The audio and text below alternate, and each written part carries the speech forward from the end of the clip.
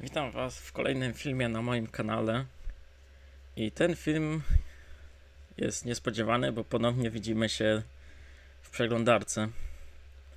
Ponieważ dzisiaj y, zobaczymy sobie oraz omówimy, tak mniej więcej, y, pierwszy oficjalny teaser, można powiedzieć w sumie zwiastun y, filmu Five Nights at Freddy's. Po 8 latach, czujecie to? Po 8 latach w końcu dostaliśmy, dostajemy film i e, wczoraj, 17 maja, jakoś o trzeciej w nocy czasu polskiego, udostępniony właśnie został pierwszy zwiastun. O drugiej został e, udostępniony, zostaje również e, plakat oficjalny. Potem może też wam go pokażę. A właśnie godzinę później y, dodany został 47-sekundowy y, teaser. Więc y, no, ogólnie moja reakcja nie będzie jakaś żywiołowa, bo już ten zwiastun widziałem. A na pewno nie będzie to, to też coś takiego jak inni youtuberzy. Fantasy and fun come to Shut life. up! Hit it, guys. Josh Hutcherson! Oh, you're freaking kidding me. Oh, uh, oh, oh, oh, oh. Oh, the cameras, the poster! I'm gonna cry. I'm gonna cry. I'm gonna cry. I'm 23. I'm 23 years old. I'm gonna cry. Oh, the cup is the same. Oh my god, I can't believe what I'm looking at. What is this? Is oh, what is that Foxy? It's Foxy. It's Foxy in the reflection. Holy moly! Oh, it's Piper Rubio. It's Piper Rubio. It's Abby. It's Abby. It's Abby. it's Freddy. Oh my God! It's Vanessa. It's Vanessa. It's Vanessa. It's Vanessa. It's Vanessa. It's Vanessa. Okay. Okay. Okay. Okay. Okay. Okay. It's the dead freaking kids, bro. Ah! I'm sorry. It's William Afton. It's it's William Afton. Oh my goodness. Oh my goodness. ale myślę, że e, i tak e, fajnie będzie e, ten film zobaczyć, bo może dowiecie się czegoś, może powiem coś, czego ktoś inny nie powiedział. No, zobaczymy.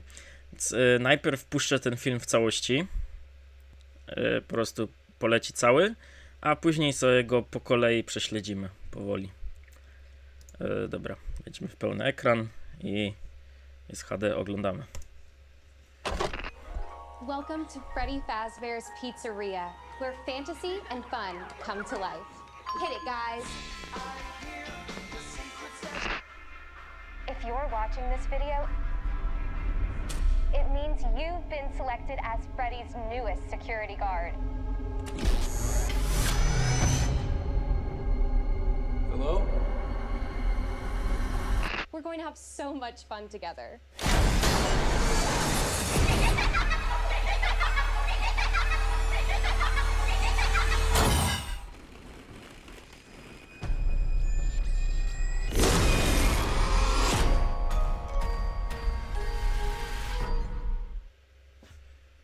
No, a więc y, to było tyle.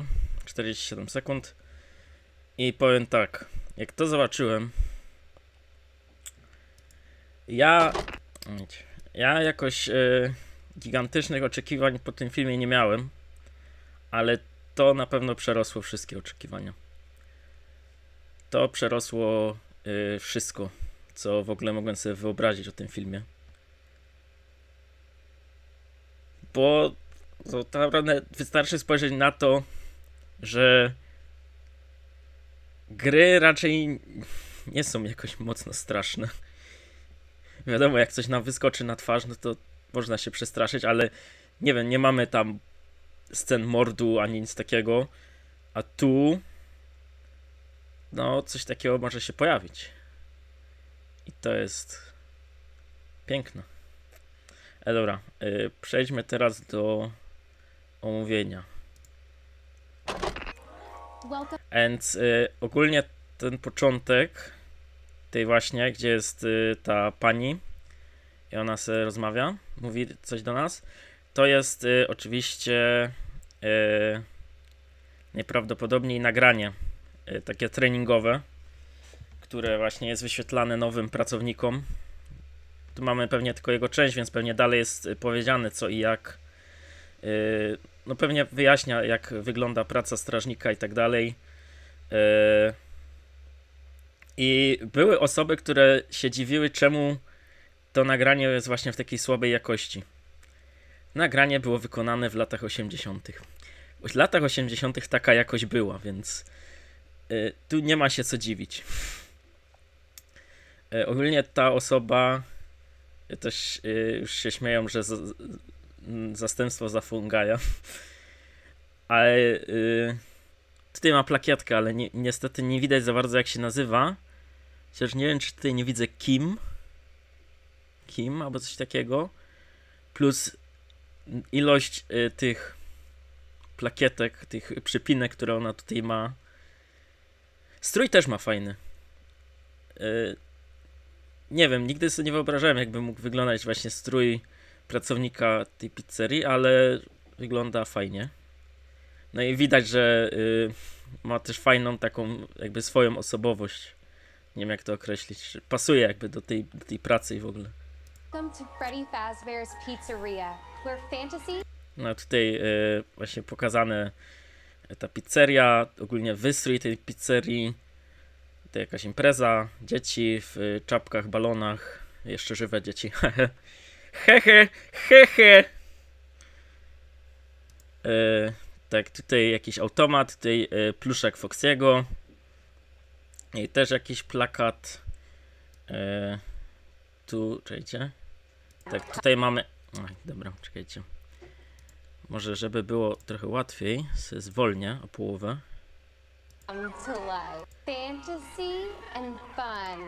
Tutaj mamy jakieś e, automaty. Tutaj jakiś automat z czymś, czego nie znamy. No, e, też właśnie wszyscy pobierani. No, no wszystko wystylizowane tak jak właśnie w latach 80., więc e, tutaj właśnie oddanie szczegółów e, tej e, no, basen z kulkami. Dla tych, którzy czytali e, książki, to e, wiedzą o co chodzi, a ci, którzy nie czytali, to basen z kulkami jest dosyć e, ważną rzeczą w e, właśnie książkach, bo w sumie pojawił się w jednej książce i okazało się, że był maszyną do podróży w czasie. Okej. It. Tutaj mamy y, pokazany przycisk Showtime, czyli przycisk, który wywołuje no te show, show animatroniczne. Co w ogóle się dziwię, że ten przycisk działa. Co też jest takie trochę śmieszne, bo w y, FNAFie VR też był przycisk Showtime i on nie działał. W sumie się wszyscy zastanawiali, po co on w sumie jest. Czy nie wiem, czy on potem nie był potrzebny do y, uzyskania tam zakończenia. Jak nas glitch trap atakował. No ale nieważne. Tutaj dziwny uśmiech. No i tutaj y, animatroniki. I wyglądają one jak żywo wyciągnięte po prostu z, z gry, nie? Jakby po prostu ktoś wziął i po prostu je tak o wyciągnął z gry, nie? Bonnie, Freddy, Chica. y, Foxiego nie ma, Foxy zawsze tam z tyłu był gdzieś. Yy, dobra. No i tu już mamy. Yy, no, przyspieszę może jednak trochę. Tutaj już mamy yy, tak jakby czasy aktualne. Czyli pizzeria już jest zamknięta. Już się wydarzyło, co się miało wydarzyć. I tu mamy y, Josh Hutcherson, czyli y, który gra w tym filmie Majka. Jednakże y, to jest y, Mike Schmidt. Czyli właśnie ten, który graliśmy, którym graliśmy w e, FNAFie 1. Aczkolwiek wiem, aczkolwiek wiemy, że teorie są, że naprawdę to, y, tak Mike Schmidt to było tylko takie jego za, y, zastępcze imię, które on podał, tak naprawdę to jest Mike Afton. No, zobaczymy, jak film się do tego odniesie. No widzimy, że on właśnie zaczyna tutaj pracę, najprawdopodobniej. W sumie, czekajcie. E, tutaj mamy. O, tutaj mamy pokaz na y, wgląd na y, wnętrze restauracji, które też wygląda świetnie. I w ogóle co się okazało, to nie jest. Y, to nie jest tak jakby studio. W sensie, że nie ma y, po prostu tej tak jakby wolnej przestrzeni w dachu, tylko to jest normalnie budynek. Normalnie odtworzony budynek z dachem, ze wszystkim tutaj e, jakieś właśnie malowane szkło z chiką, z bonim. E, tutaj mamy prices, czyli pewnie price counter jakiś. Tutaj chyba e, są rysunki dzieci. Nie wiem, czy coś tu jeszcze widać. No, słabo. No i tu mamy Majka, który się rozgląda. No i tutaj mamy te animatroniki, przepraszam. Okej. Okay. Tutaj mamy cupcake'a. No i tu widzimy, że włącza on zasilanie i tu mamy ten y, szyld, banner y, przy wejściu właśnie z Freddym. Kamery. Y, Tutaj mamy kamery wewnątrz budynku, kamery na zewnątrz budynku. Co też y, wiadomo, w grach tego nie było, no bo po co mielibyśmy to w sumie mieć. Ok. Y, tutaj y, właśnie easter egg, czyli plakat, dokładnie ten sam co z gry. Tutaj kubek też prawdopodobnie chyba ten sam co z gry. Wiem, że ludzie mówili, że plakat mógłby zostać przerobiony, żeby były tutaj tak jakby postacie z wersji filmowej. Aczkolwiek myślę, że lepiej, że. Je... Ja bardziej wolę, że jest y, właśnie z gry, po prostu jako easter egg. E, No, ogólnie wiatrak. Wiatrak też bardzo ważna część gry. Ogólnie tej franczyzy. E, No i tyle. I mamy coś widać na tych. Tu jest chyba kuchnia. I co jest właśnie ciekawe, jest podgląd na kuchnię. W grze ni- nigdy nie mieliśmy podglądu na kuchnię, mieliśmy tylko dźwięk z kuchni. Tu jest, okej. O, tutaj yy, tak filmowa wersja kamery pokazującej właśnie animatroniki na scenie. Jakby jeszcze dodali shot, że one na, na przykład nagle się odwracają w stronę kamery, to by było kozackie, ale okej. Może w filmie to będzie. I tutaj mamy ponownie Majka i za nim Frediego. I to, to jest, y, to jest tak bardzo y, Fazberowy tekst. To pasuje do Fazbear Entertainment. have so much fun together. O, będziemy mieli tyle zabawy, tak się będziemy świetnie bawić. I ta scena jest. Yy, wywołała wielkie zamieszanie w internecie, bo nie do końca było wiadomo o co tutaj chodzi. Otóż. Yy, pierwsze mamy tutaj właśnie. Tu jeszcze nie wiedzieliśmy, kto to jest. Po prostu jakąś osobę, która jest zapinana w jakieś y, metalowe coś tak, tutaj na ten, na rękach. Tutaj mamy zbliżenie na Majka. No I widzimy, że to coś na niego leci, tak, z jakimiś piłami i ten. Yy, więc były teorie ogólnie, że że to nie jest Mike. Dla, głównie dlatego, że jak spojrzymy tutaj, no Mike tutaj przychodzi w białej koszulce i w bluzie z napisem security, tak? A tu mamy osobę w takim e, powiedzmy typowym stroju stróża, tak? Yy, koszula, krawat. I później w tym zwiastunie pojawia się taka postać, taki strażnik, więc yy, wszyscy myśleli, że to może być on. A po prostu to, że tutaj się pojawia twarz Majka, to po prostu yy, no wiadomo, wykorzystanie kilku scen i sklejenie ich w taki sposób, żeby było widać, że żeby nam się wydawało, że to jest jedna scena. Ale e, już wam pokażę. Pojawiło się zdjęcie pokazujące właśnie, że to Mike jest ofiarą tego. No i tu można podejrzeć, że on ma tą, tak jakby tą koszulę. I co też jest bardzo ciekawe, że na tym zwiastunie ja myślałem, że to jest y, druga strona y, tej maski. Że po prostu tak jakby to jest przód tej maski, który się po prostu otworzył i odsłonił właśnie te piły, ale to zdjęcie pokazuje, że nie, że to jest tył maski i że to jest w ogóle maska Frediego. Więc jedyny pomysł, jaki mi przychodzi i dużej ilości osób, to jest, że to jest jakby pokazanie yy, pokazanie tego, jak, yy, jak yy, to jest jakby odtworzenie słów Fongaja, w których on nam mówił w pierwszej części, że y, te animatroniki właśnie kiedy nas dopadną, będą próbowały nas y, wcisnąć w kostium Frediego. No i to może być to, tylko y, możliwe, że tutaj w to będzie zamieszany y, Afton, bo nie wydaje mi się, żeby, nie wiem, animatroniki posadzał, posadziły go na tym krześle, tak same z siebie, albo żeby on, nie wiem, usiadł sobie na tym krześle tak o z własnej woli. Jest możliwe, że y, tej William Afton coś namiesza. Tutaj mamy rzut na cień Foxiego. Tutaj e, mamy Abby, czyli siostrę Majka, która w sumie nie wiadomo jaką będzie miała rolę w tym filmie.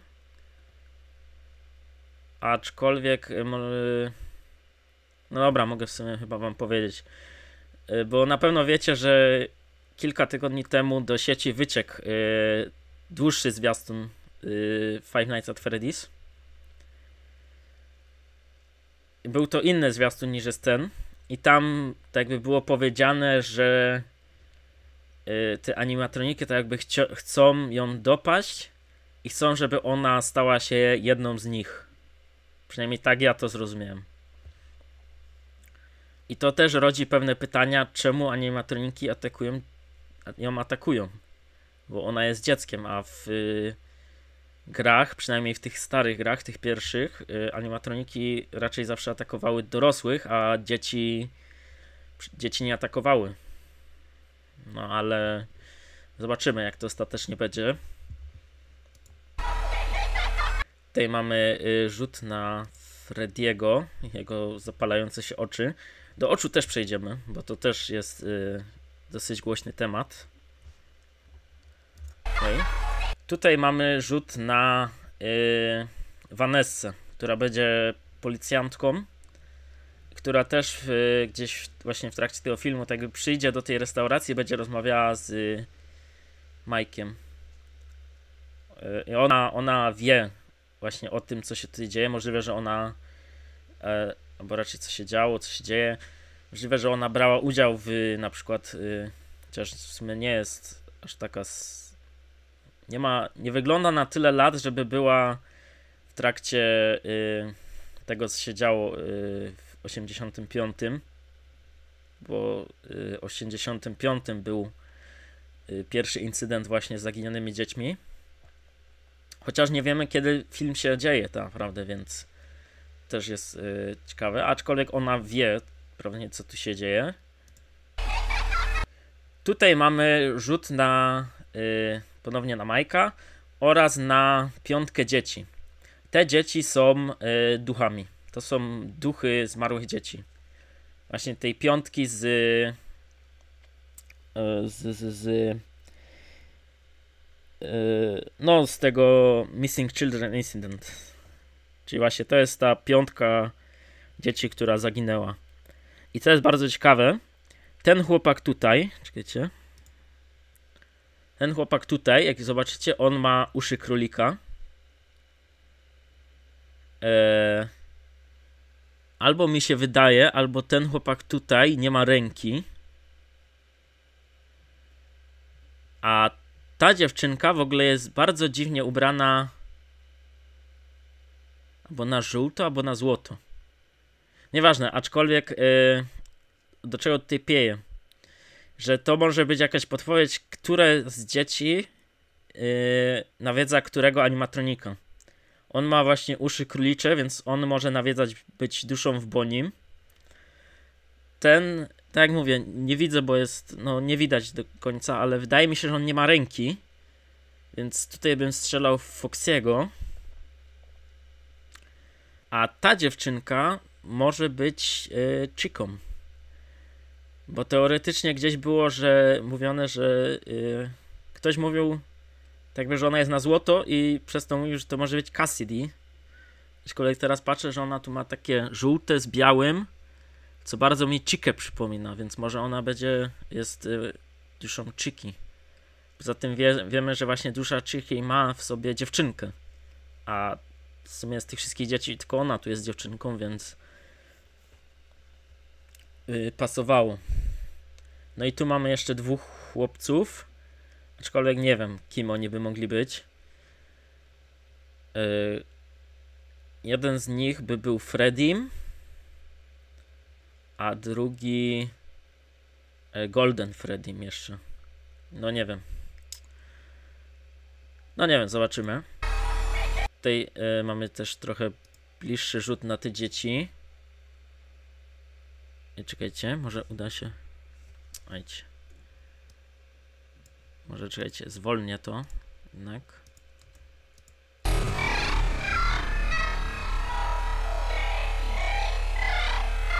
Okay. Ale to brzmi teraz. Okej. Okay. Mm. No nie wiem, ciężko, ciężko powiedzieć. I tu Matthew Lillard, e, Matthew Lillard jako William Afton.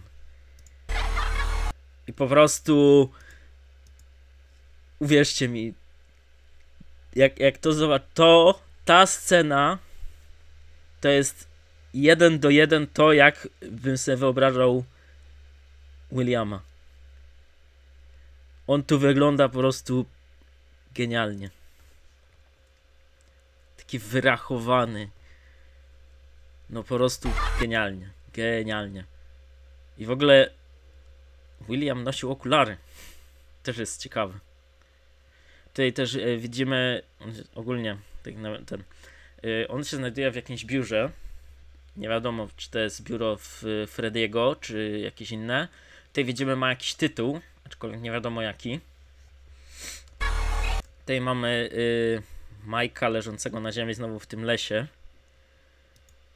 Aczkolwiek nie wiem, czy on tu wygląda jakby mu się coś stało, czy, czy co. O, i tutaj mamy właśnie tego strażnika, o którym mówiłem. I ogólnie to też y, już powstała teoria, że to może być yy, otwarcie filmu. Że możemy po prostu mieć pokazane właśnie yy, strażnika, który pracował przed Mike'iem i który właśnie został za, zaatakowany przez animatroniki. Zmarł. No i przez to Mike mógł wejść za niego. Tutaj mamy y, nogę Foxiego, mierzącą piłkę. I mamy znowu Abi chowającą się w bolpicie. Ciekawe, czy się przeniesie w czasie. Hehe. No i tu mamy animatroniki stojące nad nim. Oj, tak, Frediego, y, Boniego z czerwonymi oczami. No i mamy y, logo filmu.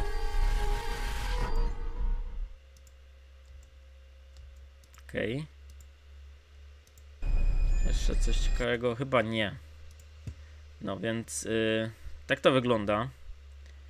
I ogólnie właśnie tak jak mówiłem z tymi czerwonymi oczami. Ym, czekajcie, wam pokażę plakaty. Zobaczymy sobie. O, tutaj jeszcze zdjęcie z y, behind the scenes tych masek.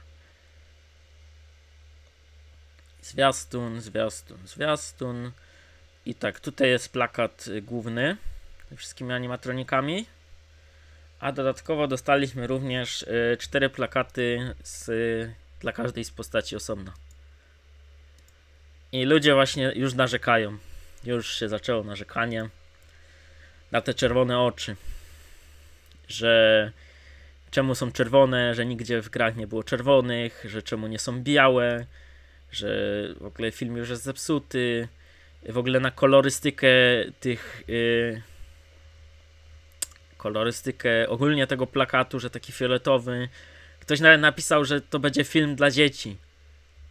Jakby kto z was chciałby zabrać dziecko na film, gdzie jest yy, gdzie jest ta scena.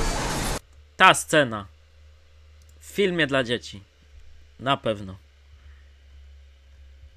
Eee, no.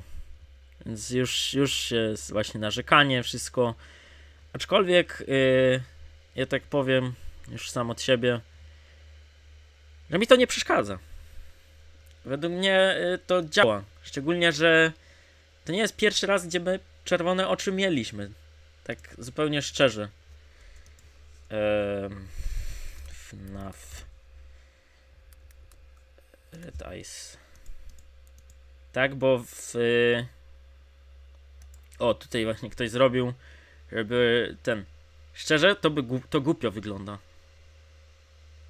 Jakby jakby tak było, no to okej. Na pewno zrobiliby to o wiele lepiej. Ale szczerze mi te czerwone oczy nie przeszkadzają. Kompletnie mi nie przeszkadzają. Szczególnie, że. Yy... No dobra, czekajcie. FNAF y, AR. O, proszę bardzo. Czerwone oczy. Było ok. FNAF VR. Yy...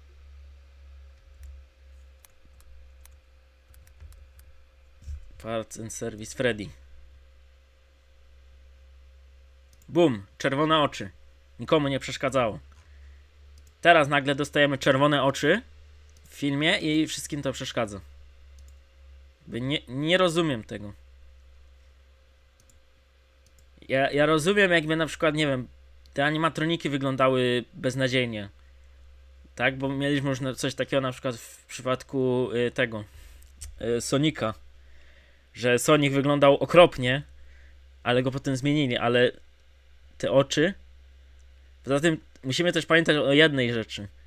Są ludzie, y, na ten, ten film jest y, jakby teoretycznie on jest stworzony pod fanów, ale jest też stworzony dla ludzi, którzy nie znają tej serii. Więc na pewno też jak ktoś zobaczy czerwone oczy, to będzie od razu wiedział, aha, animatronik jest wściekły, zły, niż jak zobaczy białe oczy i będzie taki, może, może być trochę zmieszany. To jakby tu trzeba też patrzeć na ogół ludzi, którzy na ten film pójdą. Więc y, nie rozumiem tego. Tak samo właśnie tego, że y, te fioletowe y, fioletowe tło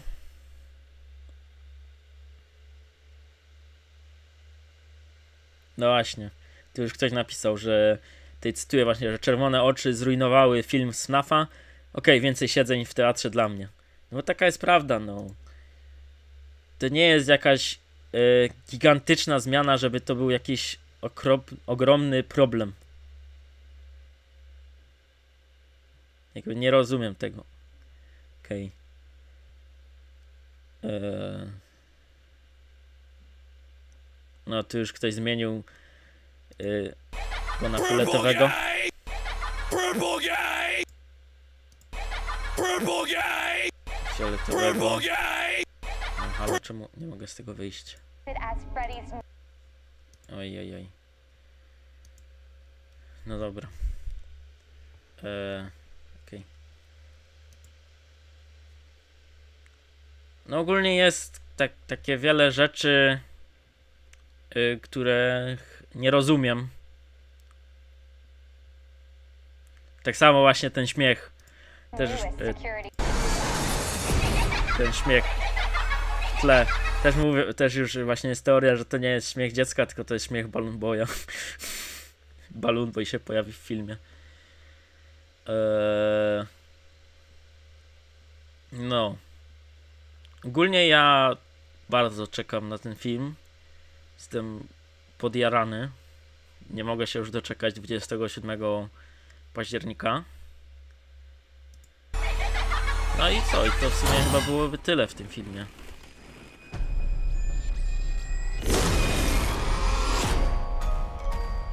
Wygląda to po prostu świetnie. Więc ja Wam bardzo dziękuję za oglądanie tego filmu. Mam nadzieję, że Wam się spodobał. I widzimy się w następnych. Na razie.